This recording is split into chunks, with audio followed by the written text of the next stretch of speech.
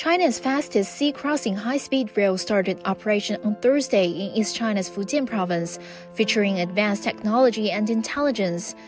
With a design speed of 350 kilometers per hour, the Fuzhou Xiamen Zhangzhou high speed railway slashes travel time between Fuzhou and Xiamen, an economic hub and tourist hotspot in the province, to just under an hour.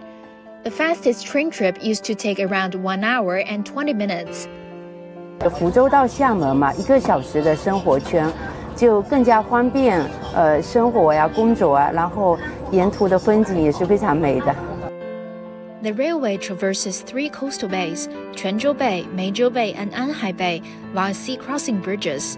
The construction of the three sea crossing bridges has successfully conquered challenges posed by the unfavorable natural environment. 从桥梁上面呢，这个我们采用了抗风。包括这个耐腐蚀的环海洋环境的情况下，这个提高了桥梁的耐久性，这也是提高了整个运行的那个舒适性和这个呃安全性。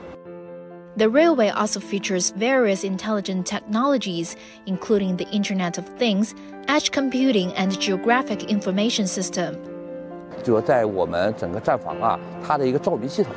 它是根据那个现场实跟那个车站实际的一个呃照明那个光线，包括根据不同时段设计不同的回路来进行一个智能化的一个控制，而不是通过人为的到后台去控制照明去开关。Meanwhile, the Fuxing trains running on the line offer a high level of comfort. All seats are equipped with charging ports, while seats in business class cabins have intelligent touchscreen control panels.